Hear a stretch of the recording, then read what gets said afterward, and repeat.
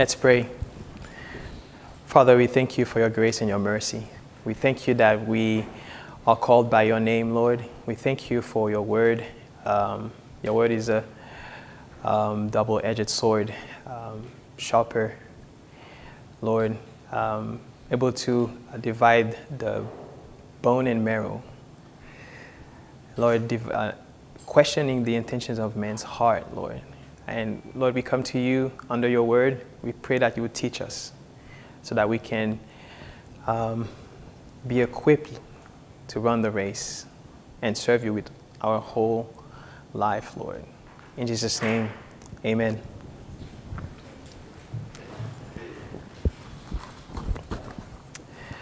So today we are continuing our study in Hebrews. Uh, we're going to be in Hebrews chapter 4, verses 1 to 13.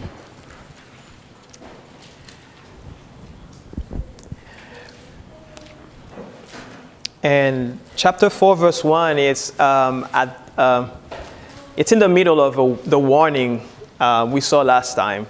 And it's going to continue with exhorting the people of the recipients of this letter and telling them to stay faithful to God.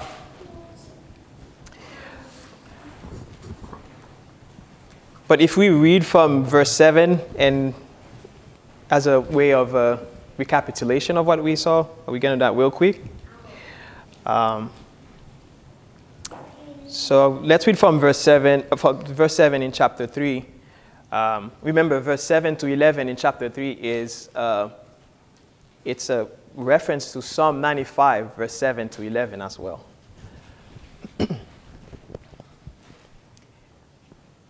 Therefore, as the Holy Spirit says, remember the author attributes the, the authorship of the Bible to the Holy Spirit. The Holy Spirit is the author of the Bible. Um, all scripture is breathed out by God, 1 Timothy 3 16. Um, 2 Peter 1, men moved by the Spirit, they wrote the Word of God. So the author of Hebrews doesn't say David says, but he says the Spirit of God said. So attributing the, the authorship of the Bible to uh, the Holy Spirit. Um, today, if you hear his voice, the word today marks urgency. Right now, don't postpone it to tomorrow. Right now, if you hear the voice of God, do not harden your hearts as in the day of rebellion, on the day of testing in the wilderness. If you hear his voice, the gospel call, when the gospel is, is being preached, it's God speaking to the messenger, and you need to respond to that call. Um, in Psalm 95, it was a worship to, it, it was a call to worship, uh, to bow down before the Lord, before Yahweh, our Maker. Um, so these Jews, the recipient of the book of Hebrews, um, they heard the gospel through Jesus Christ, even though the author says um, they received it from either an apostle or someone who was a witness of Jesus Christ. But ultimately, it, it is the Lord Jesus Christ talking to them. Hebrews 1 1. In these last days, God has spoken to us through his Son, Jesus Christ. So today, if you hear his voice, do not harden your hearts as in rebellion on the day of testing in the wilderness. Verse 9 Where your fathers put me to the test and saw my works for 40 years. Rebellion, if you read back in, in Psalm 95, it's that word Meribah. And testing is that word Mesa or masa. On that day, the people were thirsty, and Moses told them, Why are you putting the Lord to the test by saying, Is the Lord among us? You know, at this point, um, they saw the mighty hand of God. God sent the 10 plagues um, to Egypt and free them from slavery and Pharaoh and his tyranny. God parted the Red Sea, provided a cloud by day and a fire by night to guide them through the wilderness. Um, God provided manna bread from heaven to feed them when they were hungry. And that day of testing, they were thirsty. And uh, they were asking, after all this thing, is the Lord still among us? And eventually, the Lord was provoked in his anger when they sent the 12 spies to spy the land to see what is that land of Canaan about. And when, that, when they returned, they gave a bad report. And the people were like, oh, we're doomed. We're like, we are like grasshoppers before these giants. And the Lord says, they spied the land for 40 days. You guys are going to spend 40 years, one year for each day they spied the land. Only Caleb and Joshua gave a good report, but the other 10, they caused the people to sin. And despite of all the, what the Lord had done for them, they would not believe in him. And that's what we saw last, last time. Beware of unbelief. Do not um, abandon the faith. Fight the good fight. Stay faithful until the end. The Lord says in Deuteronomy 29, verse 5, I have led you for 40 years in the wilderness. Your clothes have not worn out of you, out on you, and your sandals have not worn off of your feet. It's like the Lord took care of them. We change clothes maybe every, I don't know, house, household or different. Me, I, every year. Some people every three months. Some people once they wear the, their dress and they send it somewhere else. So it's like, but the Lord for 40 years kept them, protected them. Still, they would not believe in Him. They were constantly in need of a miracle. And this is the warning people all, who are always chasing after miracles, they are displaying a lack of faith, a lack of, or an absence of faith, even. We have some so called Christian circles, I don't want to name them. they always want a miracle. They want a miracle today. They want it now. Lord, I don't know, fill this room and shake this room. Yes, that we're gonna see that there's a time when they pray like that, but um, they are displaying a lack of faith because they want something to like stimulate them. I don't believe in God. Oh, now I believe. You know, it's it's a lack of faith. Jesus said to an official in Galilee, eh, um, "Unless you people see a sign, you would not believe." In 1 Corinthians 14, 22, tongue, they are a sign, not for believers, but for unbelievers, right? Signs and wonders are for unbelievers. So people always seeking sign, wonders, miracle. They're looking for the famous prophet in town. Where, where, where is he going to be in town? I'm going to go there. Healing, blessing. You're showing that you have no faith. John Piper said in one of the, um, I forgot the name of the article, he says, uh, sign seeking is a diversion from the power of Christ crucified. You're looking at the stuff, but you're not looking at the real thing Christ, the substance. That's what you need to put your faith in. So they are always seeking for a sign. Um, uh, they need a stimulant to help them believe again and again. Um, and Jesus said, An adulterous and wicked generation seeks for a sign, but none will be given to, to, to her except the sign of the prophet Jonah. So they need to believe in the resurrection of Jesus Christ. That's what they need. They don't need miracle. They don't need um, stimulant. But on the other hand, I, I am not saying the Lord is not working wonders in the life of his children, right? Um, God is sovereign. Sign and wonders, they have a purpose. They attest to the um, authenticity and the veracity of the Word of God. Jesus said, If you don't believe my word, believe on the account of the works of the sign, uh, because the Pharisees would reject him over and over again. Um, so, my point is, we need to have that balance. We need to trust God that He can work miracle. When we pray for our children to be saved, it's a work of miracle. Like the Lord needs to change that heart of stone and turn it into a heart of flesh that is able to worship God and keep His commandments. When we pray for missionaries in, in other places, they are in the forefront of the battle. They, have, they, they, they, are, they are going under um, so much spiritual attack, we need God to intervene for them. I, heard the story. There is, um, there, is a, there is a little village on the mountain, and this, this, this missionary was pressed upon like, by the Spirit. I need to go to that mountain. For some reason, the Lord was guiding him. And when he got there, there was a sister in that village. They poisoned her because she was a Christian, and they wanted her to die. And when they came, they provided, um, um, um, they, they provided um, medicine, and she was healed. And that caused the village, all of them, to repent and trust in God. So the Lord works wonders. He is mighty. So they have a purpose, is to cause us to believe in Him, uh, to attest to the word that Christ is the Lord. So we need to have that balance.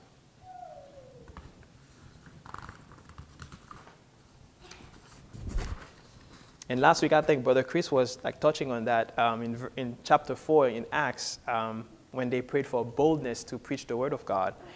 Um, and they said, Lord, that you would stretch out your hand and heal, and that sign and wonders are made in the name of the Lord Jesus Christ. So there is a place we pray for that. Um, but Lord, I need a sign. It's like a remote control. Lord, now. Lord, now. No, it's not like that. That shows that you don't believe God. Verse 10 Therefore I was provoked with that generation and said, They always go straight in the heart. They have not known my ways. The word provoke, that means vexed or offended. When someone offends you, um, when you're angry with something, or when you are displeased with something, you're offended. Um, some of you know this little thing about me. Sometimes I don't like when people say, Are you sure? I'm getting used to it. Um, it's, a, it's, a, it's a type of politeness. But imagine, like, the Lord says, I'm going to take you guys from Egypt to the promised land. Moses came. Who are you, Moses? I was like, the Lord sent me. And when Pharaoh, like, increased their labor, oh, Moses, you came for a doom. It's like saying, God, are you sure you're going to do this thing? God said, yes, I'm going to do it. And he sent the 10 plagues. And they got out of Egypt. They got to the, the, the Red Sea. Oh, is it because there were not any tomb in Egypt you came here so that we can die in the wilderness? Lord, are you sure you can do this thing? Yes, the Lord parted the sea. But it's like you see like this unbelief like continually like building to a point where the Lord was provoked in his wrath. And he says, No more. You guys gonna be wandering in the wilderness for 40 years until all that generation, only two person, like Caleb and Joshua, they, they entered the land, but everybody else, any, anybody of age in that generation, they died in the wilderness. So, um, verse 12 Take care, brothers, let there be in any of you an evil, unbelieving heart, leading you to fall away from the living God. This warning against allowing an unbelieving heart, a hardened heart, a sinful heart to cause you to, to fall away from God, to be apostatized, like abandoning your faith. Um, fall away, that means to turn away from God, to forsake God, abandoning your faith. In Luke 8 13, in the parable of the sower, he says, And the ones under the, under the rock are those when they, heard, when they hear the word, they receive it with joy. But these they have no root. They believe for a little while, and in time of testing, they all fall away. So these, these Christian Jews in this time, they wanted to leave the faith. They wanted to go back to the old ways, the, the, the, Jew, Jude, um, the Jewish system. Um, 2 Timothy 4 1 uh, talks about men who will be departing from the faith. They wanted to leave Jesus Christ and return to the old sacrificial um, economy. This warning is a call to repentance, to turn away from that hardened heart, and to trust in Jesus Christ. You want to return? Newsflash falling away from Jesus Christ is falling away from God, from the living God. You think you're going back to God? No, you're falling away from God, actually.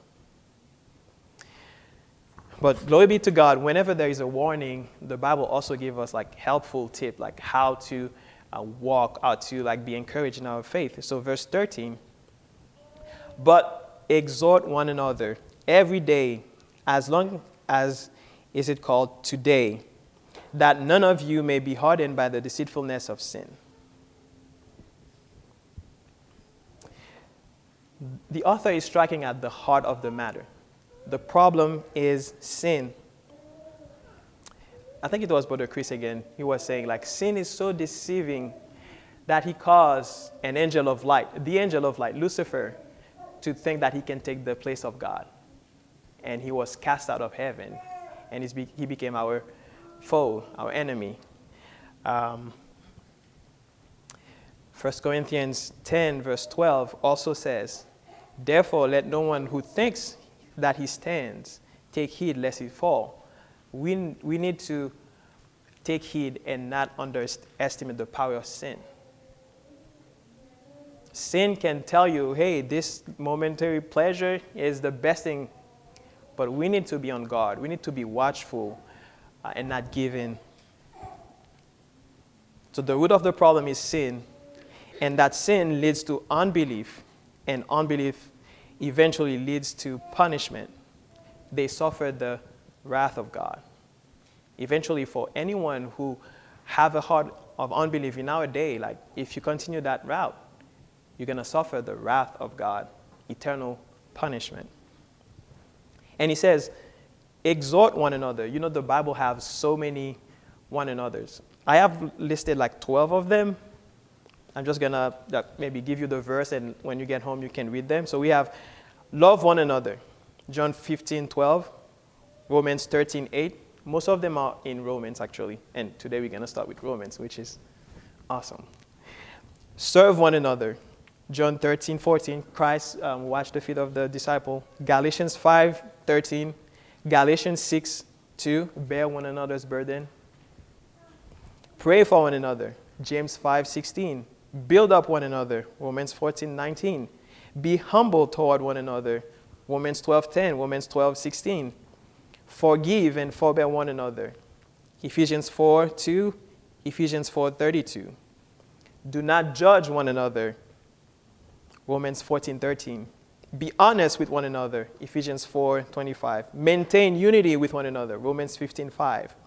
Be at peace with one another, Mark 9:5. Uh, I'm sorry, Mark 9:50, Romans 14:19.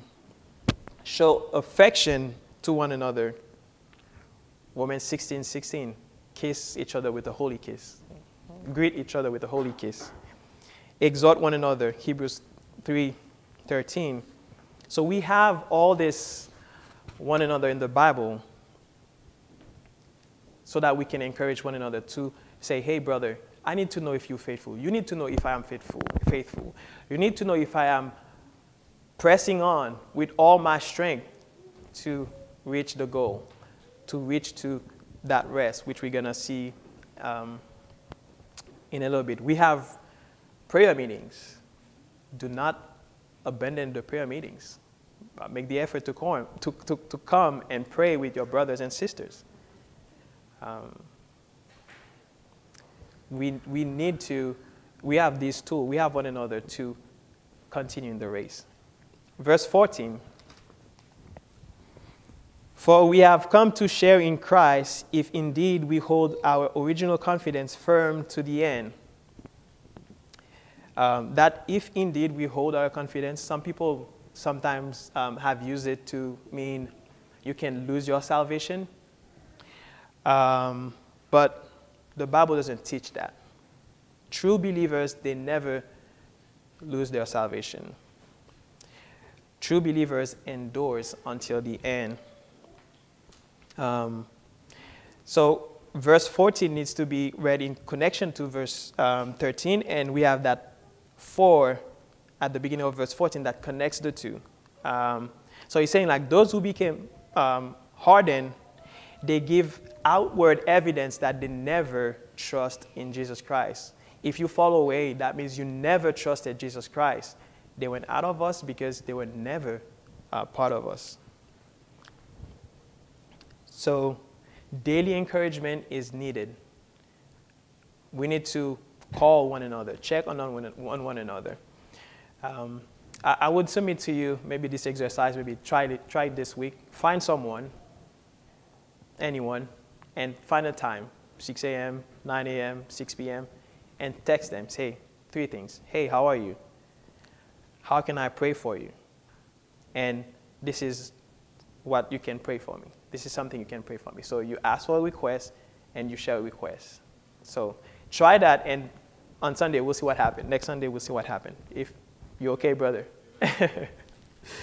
um, f- verse 15 to 19. As it is said, Today, if you hear his voice, do not harden your hearts as in the rebellion. For who are those who heard and yet rebelled? Was it not all those who left Egypt led by Moses? And with whom was he provoked for 40 years? Was it not those who sinned, whose bodies fell in the wilderness?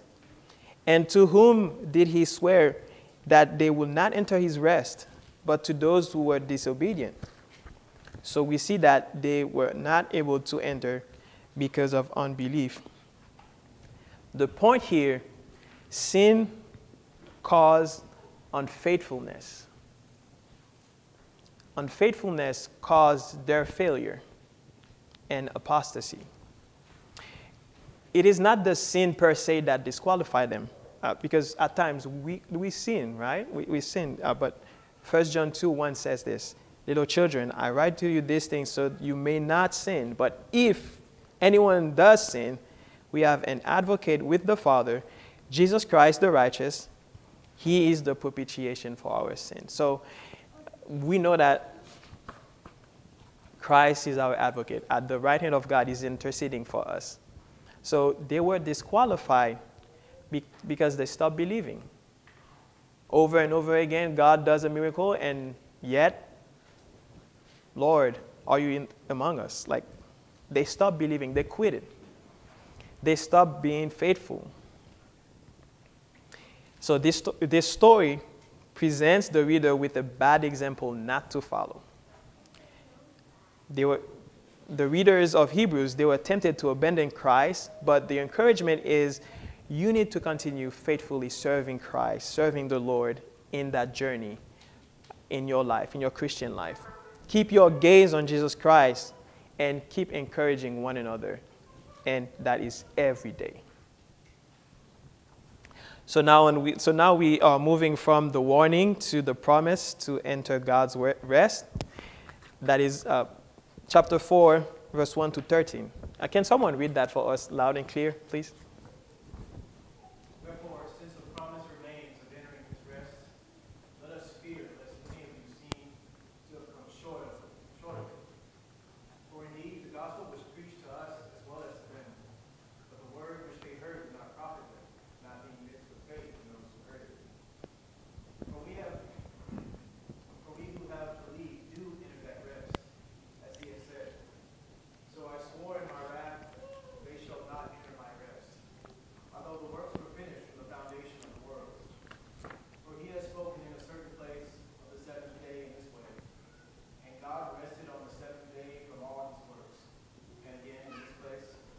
shall not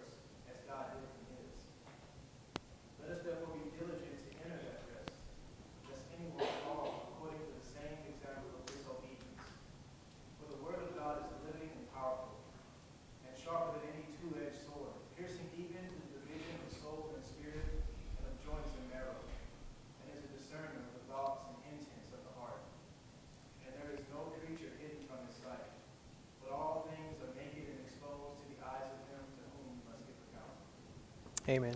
Thank you, brother.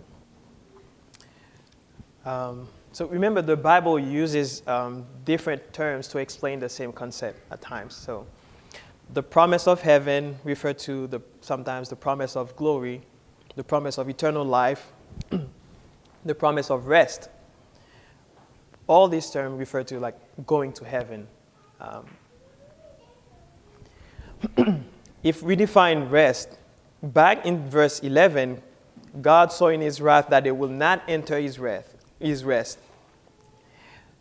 So, simply put, like the rest in that context was the land beyond the Jordan, land of Canaan, right?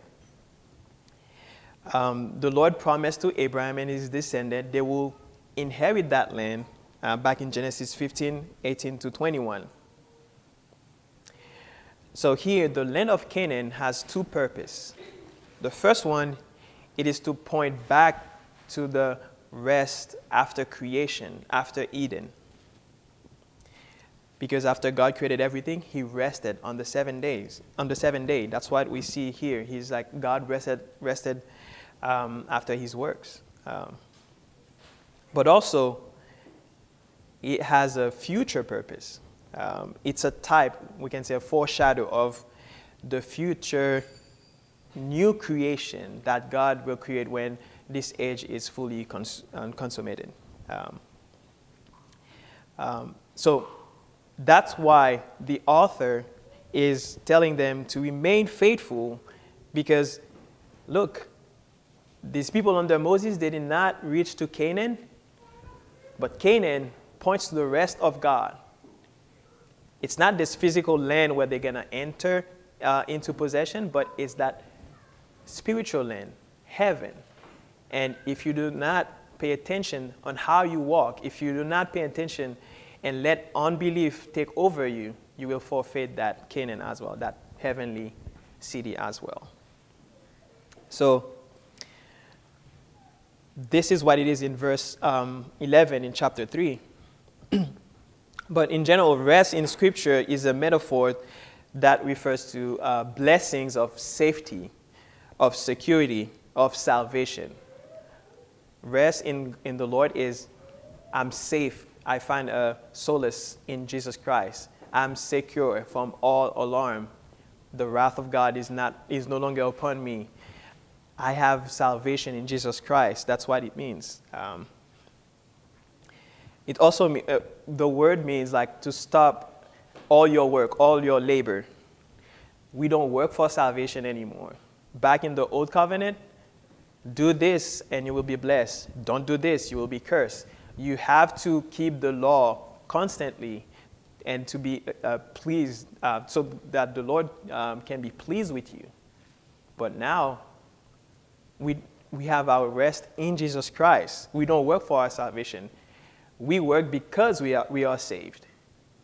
We keep the good, the good faith. We fight the good fight because we are, we are saved in Jesus Christ. So, we don't work for salvation anymore. We stop our feeble efforts to please God. We rest on the everlasting arm. We lean on the everlasting uh, arm. Leaning, we sing that song, right? Now, we are positionally established in Jesus Christ we are justified by his blood. We lean on Christ. We, we have found rest only in his life. Sin is gone. Now we are at peace with God. We can enjoy our relationship with God. Hebrews developed this picture even more by bringing out a, a, a unique aspect of Christology.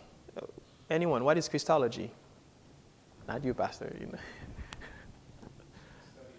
the study of Christ, the work and nature of Jesus Christ. um, I didn't want but, but a topic to spoil the answer. um, yeah, it's part of it's a part of theology that's that um, that solely focus on Jesus Christ, His nature, His work, um, His death, burial, and resurrection. So Hebrews four teaches us that Jesus is our Sabbath rest. we find our rest only in Jesus Christ. Not in a place, not a land, but a person. He is the one who gives us rest fundamentally, nothing else. So, now in the Old Testament, we have two types that point to what we call heavenly reward or um, heaven. The first one is Sabbath, and the second one is Promised Land. So, what is the Sabbath? I'm not going to do like a long study on Sabbath. We have asked Brother Tawfiq a few questions, and if you have more questions, you can ask him afterwards. But simply put, Sabbath is a day of rest and worship. Um, someone read um, Genesis 20, uh, Exodus 20, verse 5.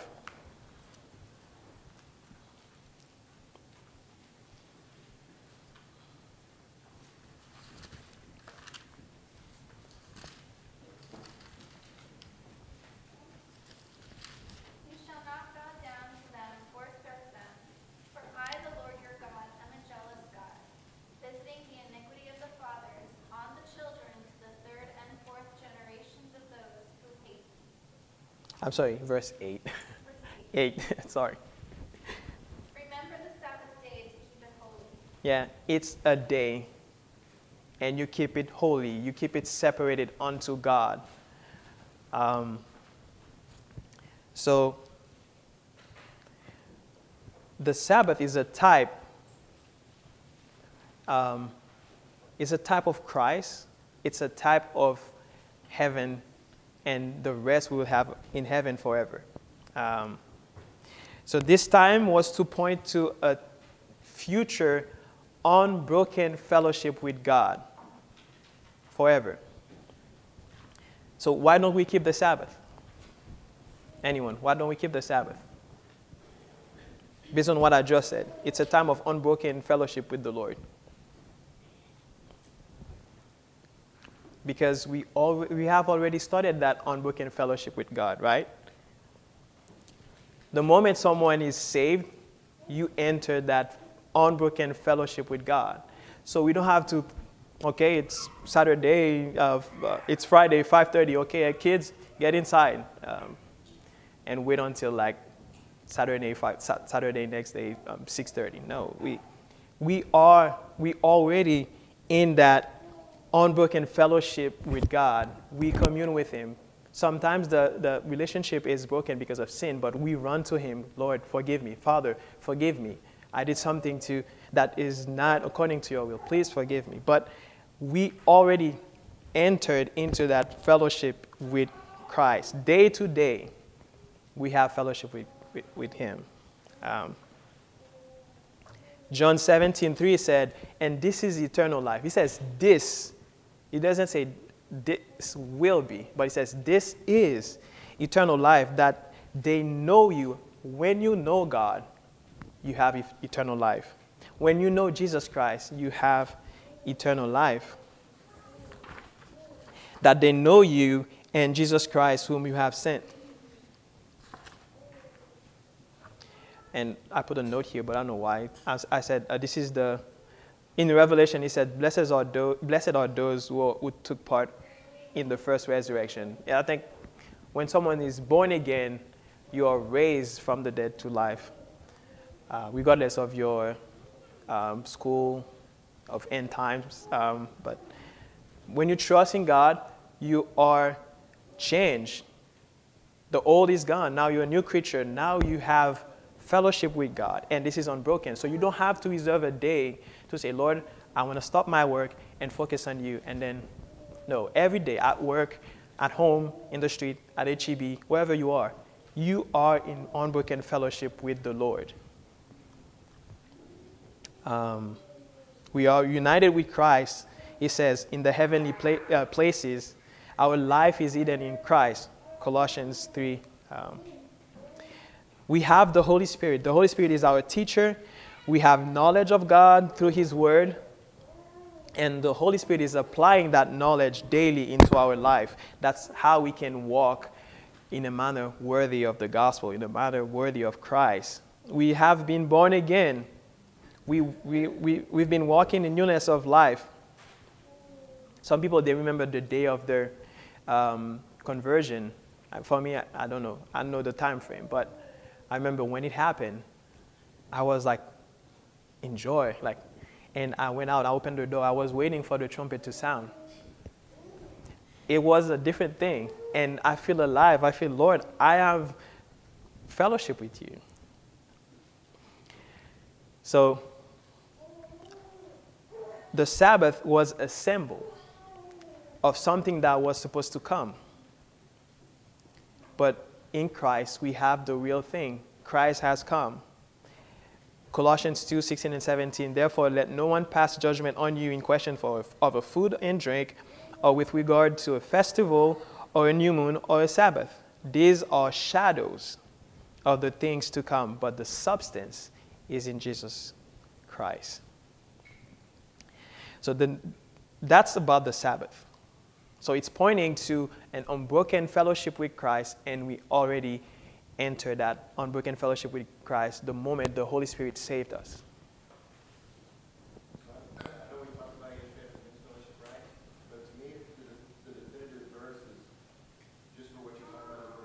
Mm-hmm.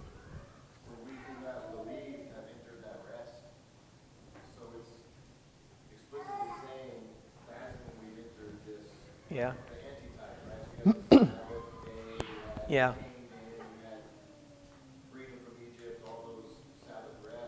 Yeah. But the one we're entering, the final rest is when we believe, Yeah. right? So Yeah. we still don't need a day in that sense because we have it. We are, you have it all the time. Yeah. Amen, brother.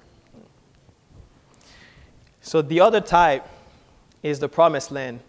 This type is pointing to a spiritual kingdom. And that spiritual kingdom is on earth. Um, it's not a geopolitical kingdom. It's not, it's not like this is the land of God, and it's not a theocracy that we're trying to establish on earth, but it's every believer anywhere in the world, they are part of the kingdom of God. We are all part of the kingdom of God. So the promised land starts with us here, but ultimately the fulfillment of that, the, the, the fullness of that will be when Christ returns. But uh, Christ is king over our life right now, right? He is the king. So we are um, citizen of heaven, even though we are here. Um, um, so any believers, any believer anywhere in the world, they are part of the kingdom of God. The moment we obey the gospel, the moment we repent of our sin and believe in Jesus Christ. So these images are pre- presented to the readers of Hebrews to tell them the rest was to be had um, when Israel entered the promised land, the land of Canaan. But because of their unbelief, they did not enter that promised land. They died in the desert and they did not receive the reward. In the same way, if we let sin and unbelief creep in, we can forfeit the reward of, the reward of heaven. So we have to be on guard. Um, and we have to continue faithfully in the, in the race. So let's read verse 1. Therefore, while the promise of entering is of the rest still stands, let us fear lest any of you should seem to have failed to reach it. Um, fear. It's not the fear, the morbid fear of God's judgment on you, but it's the fear of reverence. Um, it's the same idea we have in Proverbs 1 7. The fear of the Lord is the beginning of knowledge. Fool despise wisdom and instruction. Um, it's a fear that causes us to um, watch over our walk. We need to watch the way we walk um, because we want to, we, we don't want to forfeit um, heaven. It's, it's the same fear that happened when Ananias, he lied to the Holy Spirit. It says, when Ananias heard these words, he fell down and breathed his last. He died and great fear came upon them all who heard it. So it's like we need to watch the way we walk. We need to watch, um, we need to be on the guard. Sin can creep in and cause us to fall away. The, the other thing is that they have the promise right in front of their eyes, but you have still a chance to enter that promise, even though you sin or you fall, if you, if you um, for a moment, in their case, they wanted to go back to the old ways, but the promise still stands. And do not repeat the error of the Israelites. Verse 2. For good news came to us just as to them, but the message they heard did not profit them because they were not united by faith who listened. So, faith is the requirement of that promise. Faith in Jesus Christ is the requirement to receive that promise. They were not united, meaning that now we have the Spirit. We have the same Spirit. Like he says in um, Ephesians 4 um, there is one body, one Spirit, um, one Lord, one faith, one baptism, one God and Father of all. So they didn't have that, but we have that. We are united in that faith. But those who perish in the desert, they were not united in the faith. Only, you can say, only Joshua and Caleb, they made it. Even Moses didn't make it.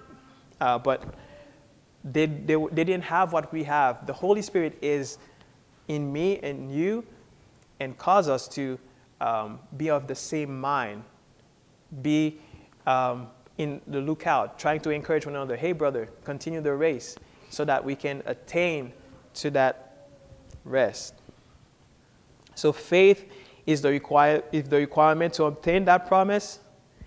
Um, we have that faith and we are united in that faith. And the encouragement is the same. Don't do like they did. Don't complain. They were continually complaining, groaning. I tell my kids all the time complaining is a sin. God was angered with them, and they did not enter the promised land. So we have that. We have the Spirit. We have the Spirit of God in us. Um, um, it's, it's the helper. Like God, God called the Spirit the helper. He is the helper, not it. God called the Spirit the helper. Um, verse 3 to 5. For we who have believed entered that rest, as he has said, As I saw in my wrath, they shall not enter my rest, although his works were finished from the foundation of the world. For he has somewhere spoken of the seventh day in this way, and God rested on the seventh day from all his works. And again in this passage, they shall not enter my rest. So they receive the good news. The good news they receive is not like the gospel. They receive a good news hey, you're going to leave slavery, you're going to be delivered from slavery in Egypt, and you're going to receive the promised land. But the fact that they didn't attain or they didn't reach that promised land, um, that means they reject that good news or they trample on their feet the good news. Um, in the same manner, we can trample the gospel under our feet if we don't watch the way we walk in the Lord.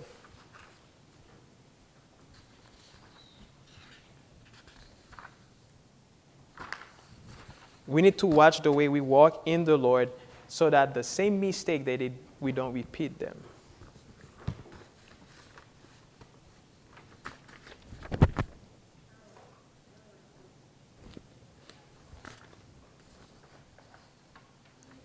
So again, faith in God is necessary to enter the, God, the rest of God.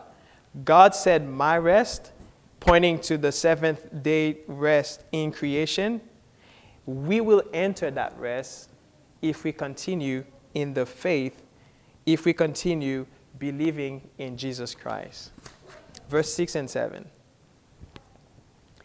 Since therefore it remains for some to enter it, and those who formerly received the good news failed to enter it because of disobedience, again he appointed a certain day, today, saying through David so long afterward, in the words already quoted, Today, if you hear his voice, do not harden your heart. So, verse 6 is continuing the argument in verse 5. But this is what the author is saying here Israel failed to enter the promised land. That doesn't mean um, the promise stopped there. The promise doesn't stop there um, when they could not make it into the promised land. And he's saying, if it was so, why is David talking about the rest like 500 years after Moses? So it's like this rest is available today. It's available to you. And not only to, to David or to us, but for, forever. Any generation, any time, if you have faith, if you believe in Christ, you automatically enter that rest. So he's saying that today the rest is still available. David talked about it 500 years after Moses. So it's available to you. So continue in the faith. Continue in, keep your gaze on Jesus Christ so that you don't lose um, that promised land. Verse 8 For if Joshua had given them rest, God will not have spoken of another day later. So then there remained a Sabbath rest for the people of God. For whoever has entered God's rest also rested from his work as God did from his. So he's saying um, the rest that we have from the creation, Christian, you no longer have to work for your salvation. I said that before. But God provided a, a way for you in Jesus Christ, in the cross, so that you can enter the rest, you can enter the fellowship, you can enter um, this community of believers who are the people of God eventually will be, will be in heaven forever with Jesus Christ. So, Joshua, some people might say, like, this is a comparison between um, Joshua and Jesus. Jesus is greater than Joshua because they did not obtain the rest in Joshua, but Jesus Christ gave them true rest. Verse 11 Let us therefore strive to enter that rest, so that no one may fall by the same sort of disobedience.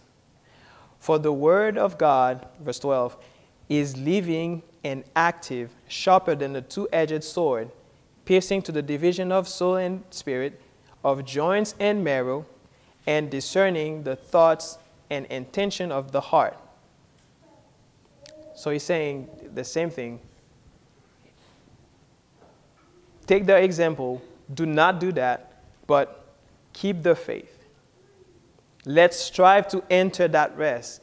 Be zealous, do good works so that you can push through, press on, trust in Jesus Christ, stay faithful until the end. To the one who overcomes, I will give the right to sit on my throne, Jesus said. So, and he says, God's word is living. That means is effective. He can encourage you. He can, like, is the, the, the, the word of God is um, the sword of the Spirit. And this sword here, two edged sword, is like, it's not like the big sword they go to battle, but it's more like a dagger, something that is fine, something that can pierce through heart, through intentions. He said to bone and mar- can pierce through a bone, uh, bone and marrow, division of the soul and the spirit. It's not like a rugged big sword that you've been battling, but it's more like a doctor examining like little uh, parts of uh, inside your body. Like the Word of God is examining you, being able to go to the deepest thought, the deepest part of your heart to see the intention of the heart. Verse 13 And no creature is hidden from his sight, but all are naked and exposed to the eyes of him to whom we must give an account. So we all are under the scrutiny of God. We are, he says, we are bare and naked before God. We are like an open book. Why? Because God is powerful, His, God, His word is powerful, and like He says in Revelation, a sword coming out of His mouth. This is the word that is going to judge us. This is the word that is going to say, hey, you did this. Your intention, they were good.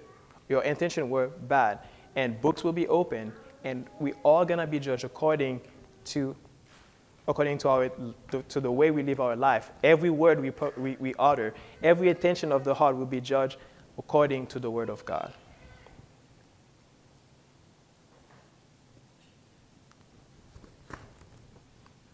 We are all naked and exposed to the eyes of him to whom we will give an account. We all need to appear before the throne of Jesus Christ. We all gonna be judged. Some people say the Christian will have the the Burma, the, the, the, the, the Bema. Um, but I, I believe like we all gonna be there because the Bible says, hey, the tare, the wheat, like you're gonna separate the wheat and the tare, Those uh, on his right come into the um, fellowship of your Father, and those on his left go and be burned in the fiery furnace.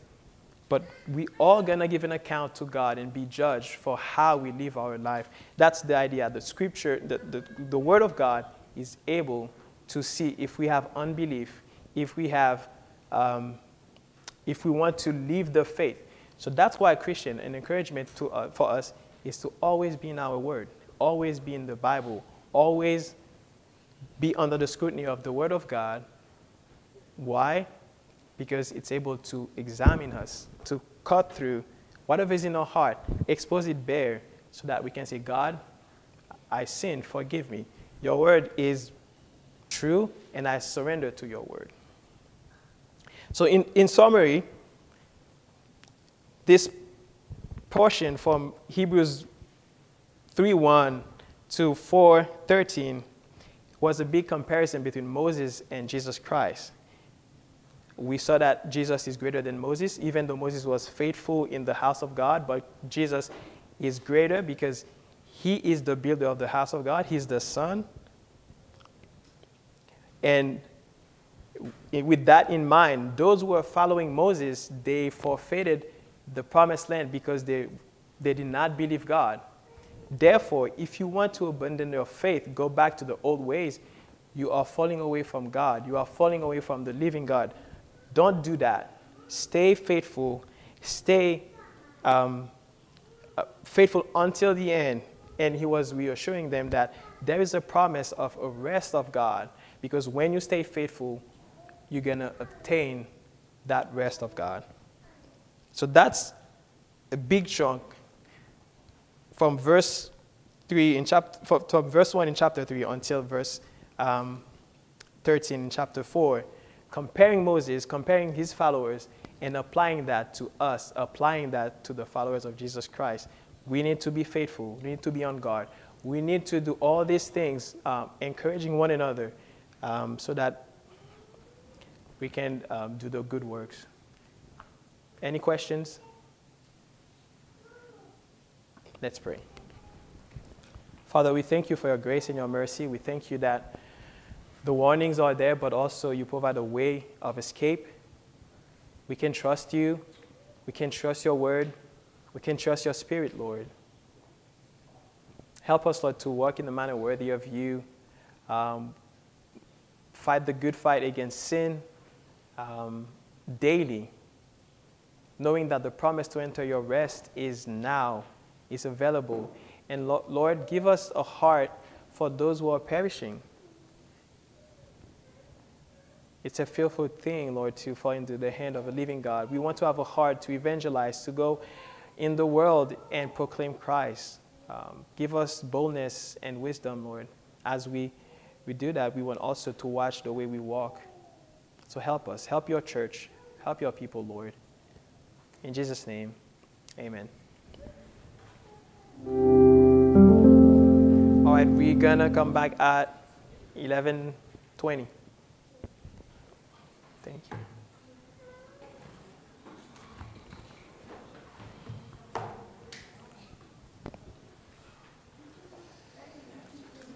Sure. that you mentioned, though, like, as Christians, you don't have a fear of losing your salvation because We of, don't. okay, so basically, we, because, like what you're basically saying is that even when, even though we have